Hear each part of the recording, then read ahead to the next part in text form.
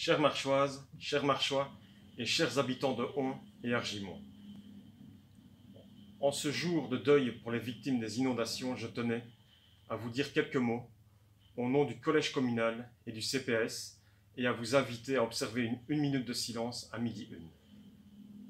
Vous aurez pu le constater, depuis ce dimanche, le soleil est revenu et c'est tant mieux, mais il ne pensera pas les plaies de nombreux de nos concitoyens victimes de ces terribles inondations, même si fort heureusement, nous n'avons pas dû dénombrer sur notre territoire de victimes.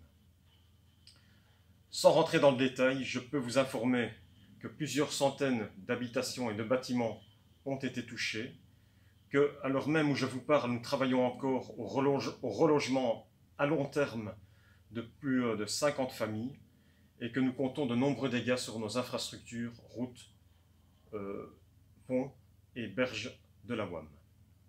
Depuis mercredi passé, tous nos services communaux et du CPS sont mobilisés, dans un premier temps pour répondre à cette crise et à l'urgence, et dans un second temps pour apporter euh, l'aide matérielle et psychologique aux victimes, aux personnes qui euh, ont subi ces inondations et qui peuvent depuis euh, compter sur la mise en place du centre de Hon disponible pour les, les habitants de Hon et Argimont.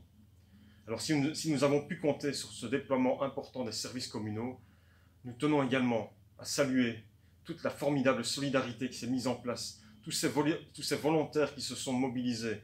La, mobilisation générale, sans précédent. Vous vous, vous êtes présentés euh, dans les villages de Hon et de Argimont avec un sourire, avec des paroles réconfortantes, avec une raclette, avec un, un, une caisse de, vêtements, avec des colis alimentaires. Chacun de ces gestes, chacun de ces gestes est une lueur d'espoir pour les personnes victimes de ces inondations. Nous, avons pu compter sur un élan de solidarité euh, venu de tout le pays. Associations, citoyens, communes, entreprises. La mobilisation, je le répète encore une fois, est générale et sans précédent. Merci, merci et encore merci pour cette formidable chaîne humaine. Chers habitants de Hon et Argimont, soyez convaincus que nous poursuivrons cette mobilisation. Parce que pour être allés quotidiennement sur le terrain, nous sommes conscients de l'ampleur du travail à réaliser. Nous sommes à votre écoute, nous sommes à vos côtés. N'hésitez pas à faire appel à nos services, car c'est ensemble que nous, nous passerons outre cette terrible épreuve.